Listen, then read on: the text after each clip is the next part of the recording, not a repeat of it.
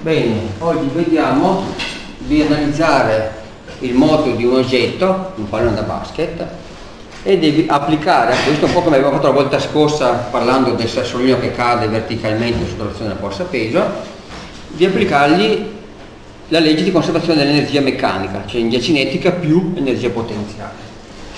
Ok? Il nostro corpo in caduta era un pallone da basket i filmati sono qua. Guardiamo per esempio il primo. È abbastanza buono perché la palla è nello sfondo bianco si a vedere abbastanza bene. Il secondo tentativo sia allo sfondo il quadro elettrico potrebbe dare qualche problema alla, alla traccia dell'immagine. Cominciamo con la prima quindi andiamo su e il filmato funge da sistema per registrare la legge oraria perché ogni fotogramma è dalla posizione dell'oggetto. Sappiamo la temporizzazione dei fotogrammi 60 ogni secondo quindi tra il primo e il secondo passa un sessantesimo di secondo e tracciandoli in successione il computer riesce a costruire la legge oraria se abbiamo la legge oraria, cioè se sappiamo posizione e tempo, possiamo calcolare tutta una serie di grandezze fisiche, tra cui anche l'energia potenziale e cinetica. Ok? Andiamo ad acquisire il video. Porta. Eh, facciamo così, facciamo un banale copia incolla. Qualche volta la messa a fuoco non è perfetta, quindi questo attrae che dà un po' fastidio, ma non è un problema. Allora, qui la prima cosa da fare è selezionare la parte di film che ci interessa, perché finché il pallone è nelle mie mani, il suo moto ci importa poco. Quindi andiamo col tasto play, facciamo avanzare l'immagine fino a che il pallone non si stacca, ecco più o meno eh, questo distante l'uomo, quindi comincia a volare da solo, il fotogramma numero 64, fino a quando non cade per terra. Ecco, più o meno a questo punto, dal 64 al 122. Con questa icona selezioniamo i fotogrammi che ci interessano. Lo start frame, il fotogramma iniziale è il 64, fino al 122 volevo dire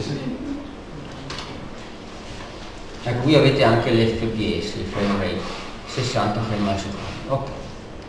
Dopodiché ci serve informare il, il computer di qual è la scala dell'immagine, perché il computer di suo non lo sa. E per questo utilizziamo l'asta metrica che ho fatto ovviamente nell'immagine. Okay? Diciamo al computer che questa distanza vale un metro, quindi calcolerà tutte le altre in base a quella funge da unità di misura, da scala. Per fare questo andiamo sulla seconda icona, ma la proprio usata in sequenza, 1, 2, 3 e 4. La seconda, nuovo nastro di calibrazione. Zoomiamo un po' per, per spiazzarlo al meglio. Ecco. Prendiamo un estremo, mettiamo in questa posizione circa, e l'altro estremo nell'altro. Non sarà perfetto, sarà un fattore di proiezione ma questo è il meglio che possiamo fare. Questo è lungo un metro quindi 1,0 questo è lungo 1 ok? Vediamo questo. Dopodiché ci serve un sistema di riferimento un sistema cartesiano che associ le coordinate alla posizione della palla.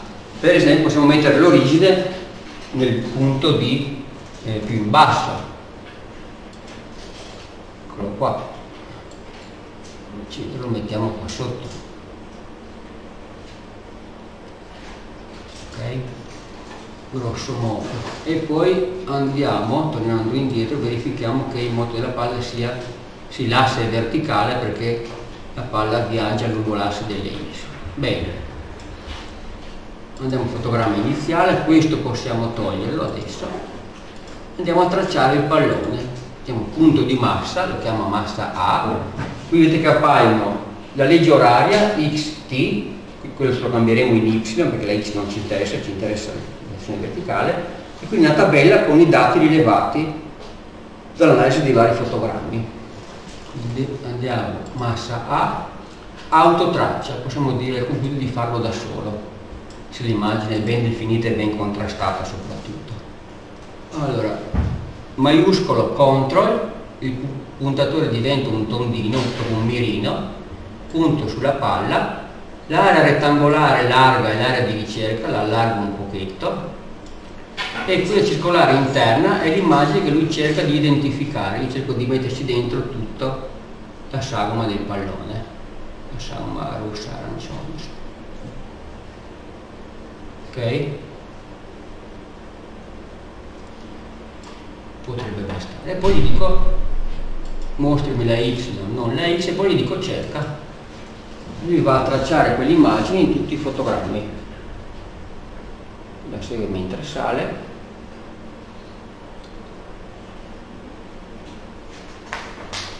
Vedete la legge oraria della Y in funzione della, del tempo.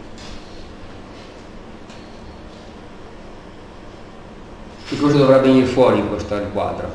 Che tipo di curva? Qual è il moto del pallone? Una parabola.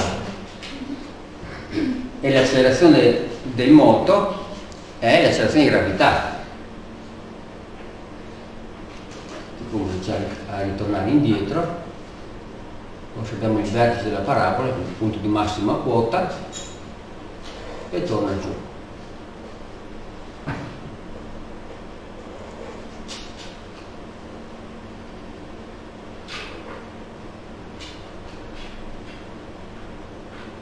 ok?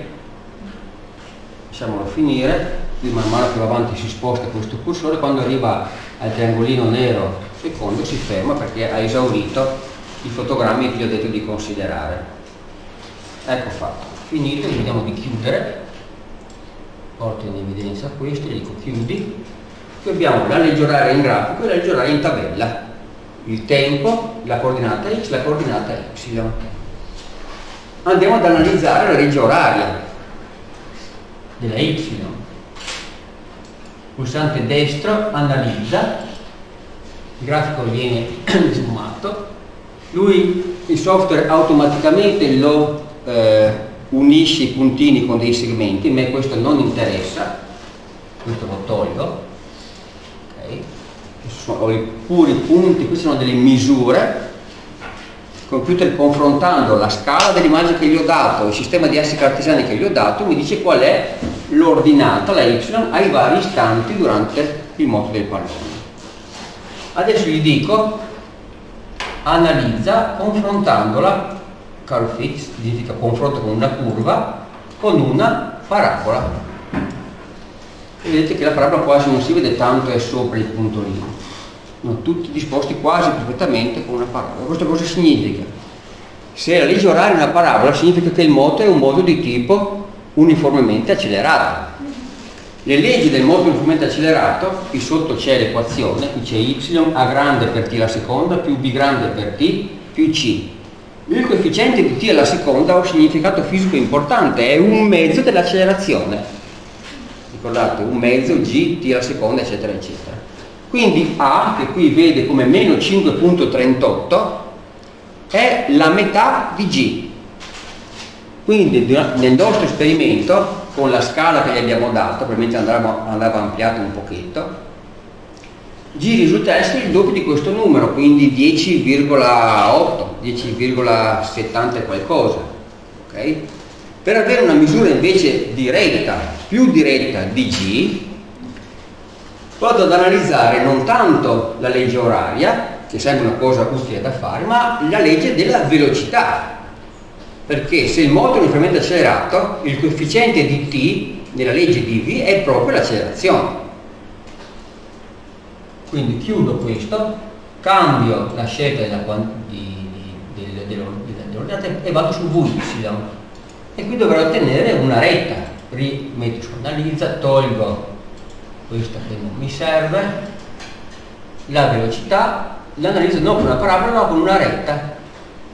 qui mi dice la tua retta ha un coefficiente angolare di meno 10,7 conferma quanto misurato prima quindi il nostro G in questo esperimento in queste condizioni in cui stiamo operando vale il valore di riferimento sarebbe 9,81 metri al secondo quadrato per la nostra immagine, per la nostra scala, se è molto vicino, è 10,7 metri al secondo quadrato. Perché la nostra scala dell'immagine probabilmente non è perfetta, poi c'è un fattore di correzione. Comunque ci teniamo buono questo, 10 e 7. Ok?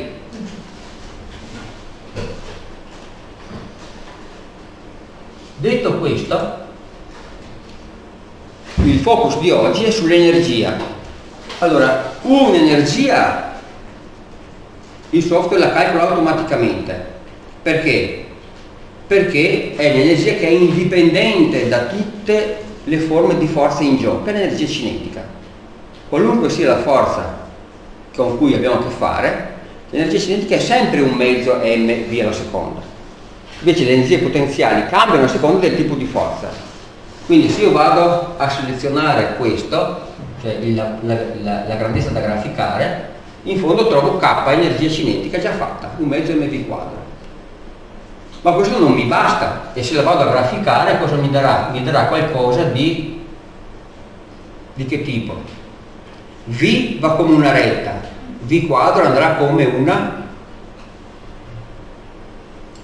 parabola. Se è lineare, la funzione quadratica è una parabola. Ok? Ed è sempre positiva, nota bene, perché è massa m positivo, v quadro positivo. D'accordo? Non mi basta, che non è l'unica energia in gioco, c'è anche l'energia potenziale. Quindi vado a dire al software, calcoli anche quest'altra grandezza fisica che definirò energia potenziale. Nel nostro caso è mgy, perché la quota è y. Quindi vado sempre su la posizione della coordinata e vado in fondo c'è un riquadro che ci definisci con definisci riesco a creare un'altra grandezza fisica quella che voglio basta che sia costruita a partire da queste quindi vado su definisci e mi dice la tua massa è m lasciamo m uguale a 1 non cambia poco perché comunque tutto è proporzionale a m. Invece quello che mi interessa mettere perché il computer non lo sa è g. Nell'energia potenziale c'è mg e y. E la nostra g era 10,7 quindi vado su aggiungi parametro lo chiamiamo g piccolo e dico il mio g piccolo vale 10,7 detto questo vado su funzione dati il quadro dopo e dico aggiungi che cosa chiamiamola EP, energia potenziale, ma posso usare qualsiasi scrittura. Eh? E poi a destra metto l'espressione, cioè come la calcolo. M, asterisco che sta per per, G, asterisco Y, MGY. Se mi scrive in azzurrino vuol dire che ho scritto correttamente. Se per esempio lo scrivo prima di definire G me la metto in rosso, dice guarda che hai sbagliato qualcosa. Oltre all'energia potenziale ci interessa anche quella totale, l'energia cinetica più potenziale, quindi andiamo ad aggiungere un'altra grandezza E T e questa la calcolo come K grande, K maiuscola, energia cinetica, dall'inglese kinetic, che comincia con la K, più l'energia potenziale, EP. Anche questa l'ha accettata. Chiudo. Adesso se riclicco qui ritrovo anche e P ed K ed è T.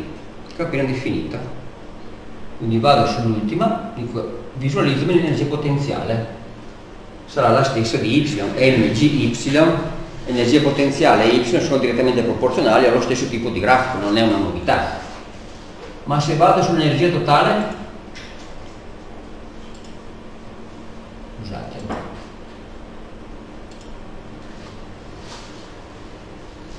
vedete che per buona parte del moto rimane abbastanza costante poi qui c'è adesso qualche problema c'è una variazione minima di circa una unità quindi una variazione del 10% ma per buona parte del moto rimane costante questo perché? perché micro variazioni nella posizione, nell'individuazione dell'immagine, possono produrre effetti su Y e soprattutto su V.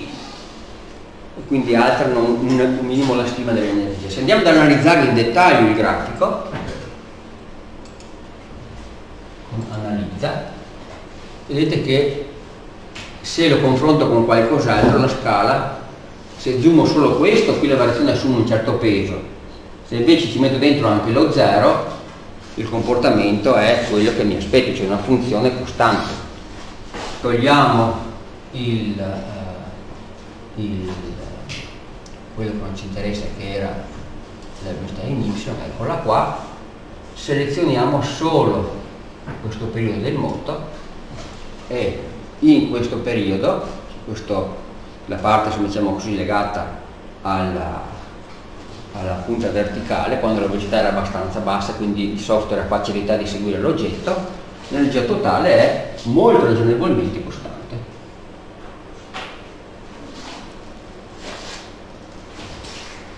Ok? Una cosa che avrei voluto mostrare ma quel pallone non si poteva fare perché eh, ahimè è un po' sgonfio e non, eh, non si presta a questo è, eh, ma lo possiamo fare un'altra volta anzi spero che abbia modo di farlo se io lasciamo rimbalzare la palla chissà se facciamo così.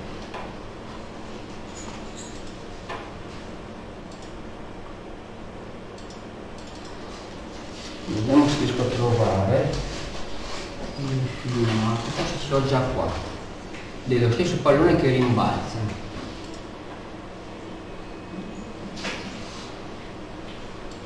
Da qualche parte dovevo averlo no, non c'è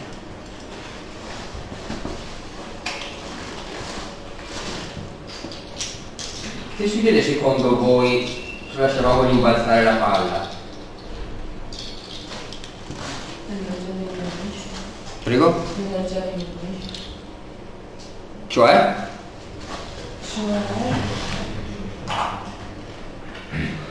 L'energia diminuisce, nel senso che la... La palla non torna più alla stessa altezza. Certo. E quindi ho due grafici, se grafico l'energia totale, ho due reti orizzontali ma una più alta dell'altra la prima è alta, in primi termini temporali, la seconda è più bassa. Perché? Vediamo se riesco a mostrarvelo.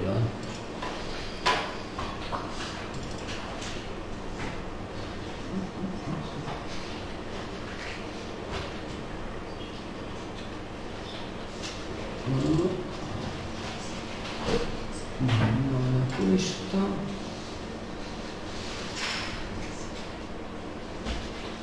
Questo ovviamente la legge di Marx imperversa e anche se lo cerco non lo troverò mai più.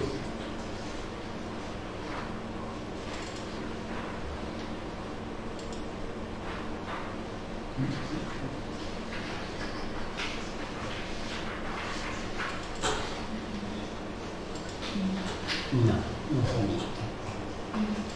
Vediamo un altro. Perché il primo rimbalzo cioè finché la palla vola c'è in azione solo la forza gravitazionale, c'è in realtà la forza d'attrito con l'aria, ma pesa poco, è poco importante. Quando la palla arriva al suolo entra in gioco un'altra forma di energia. Qual è?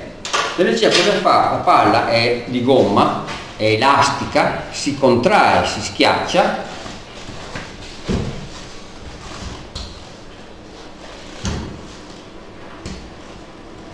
è il suolo, la palla da sferica che era diventa un ellissoide, si contrae, ma non appena e si, e si rallenta, l'energia cinetica che ha acquisito, che è cadendo, viene assorbita, è proprio come se fosse una molla, per deformare il pallone. Okay? Quando tutta l'energia viene spesa per la deformazione, la palla in, in arresto, si è deformata, ma poi per la sua proprietà di elasticità tende a tornare nella forma che aveva prima, cioè a espandersi. Espandendosi questa parte della, della palla preme verso il suolo. Terzo principio della dinamica, questa questa forza elastica agisce sulla palla e la fa tornare in alto, cioè diciamo rimbalza. Ma questo processo quindi coinvolge una forma di energia che non abbiamo considerato prima, che non è MGH, ma è un'energia potenziale elastica, che viene spesa prima, che viene acquisita durante la deformazione, poi viene restituita sotto forma cinetica quando la palla si espande. Ma questo processo non è efficiente al 100%. Una parte dell'energia meccanica totale che arriva alla palla quando tocca il suolo non viene recuperata. Perché? Perché va a rimane sotto un'altra forma, forma di energia interna o meglio ancora di energia termica. La palla si scalda, deformandosi si scalda per attriti interni.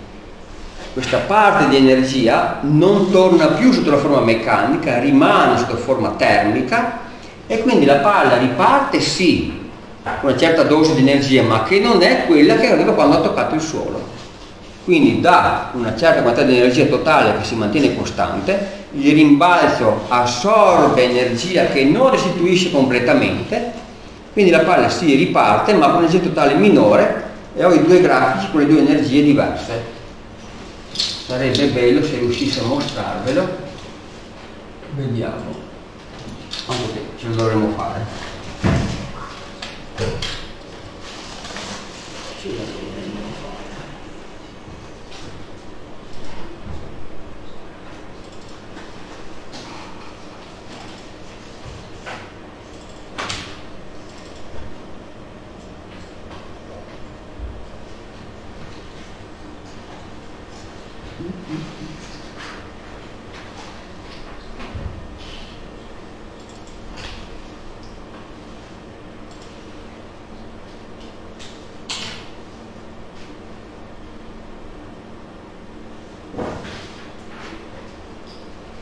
Se ce l'ho qua. Usiamo questo. Anzi, questo.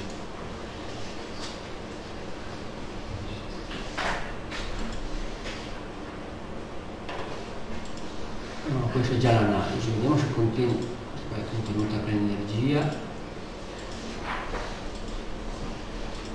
No, non c'è rimbalzo. Niente.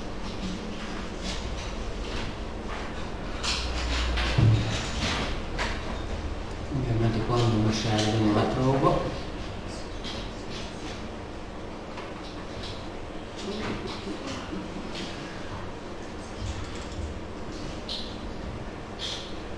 niente non era quella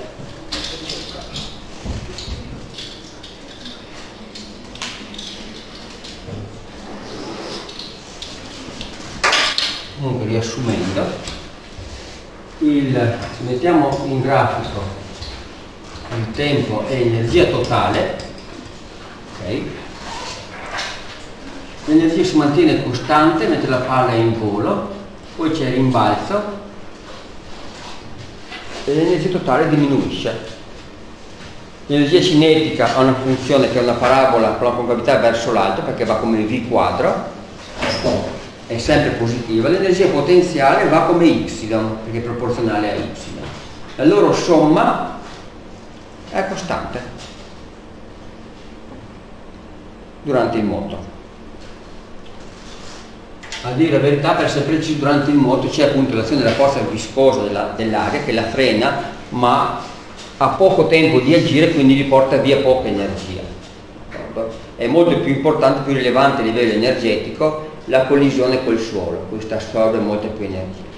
La parte di energia, come se io prendessi, fate conto, una molla, okay, la lascio cadere, questa si comprime quando tocca il suolo, si riespande, risale, ma l'energia cinetica acquisita nella compressione non viene totalmente restituita, se lo sarebbe se fosse una molla ideale.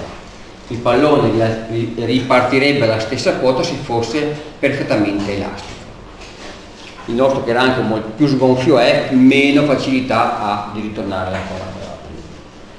Comunque, tutto sommato, direi che se andiamo a considerare quello che abbiamo ottenuto molto velocemente e per quanto in modo anche un po' approssimativo, ma diciamo che questa, durante questa fase del moto l'energia è rimasta costante, che è quella in cui che riesce a tracciare meglio, perché questa parte è quella in cui la palla è più lenta. Prego. Tutto chiaro? Domande?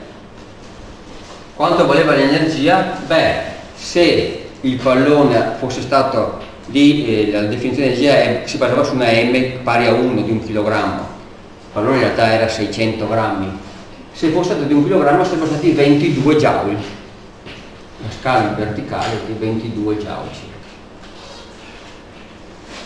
Per avere l'energia esatta basta fare 22 per 0,6, avremo l'energia totale del pallone.